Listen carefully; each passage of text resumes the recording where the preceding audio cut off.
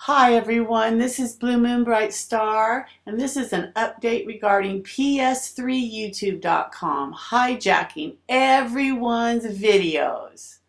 If you Google PS3YouTube.com slash user slash Blue Moon Bright Star or your YouTube name, look, it takes you right to the page. There you will see all of your videos.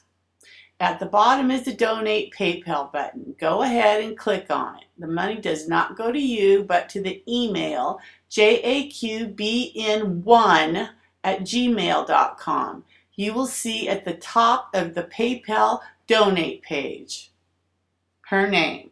Now previously I stated all of your private videos are there too. This you may want to check out one of my subs told me hers were there, so I made all of my YouTube videos private.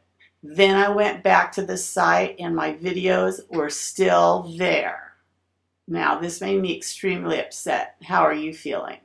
Realizing from posts that some just want hits, but personally it's about privacy and monetization for me. We just cannot give up our rights so easily. Thanks for watching and listening, and please share.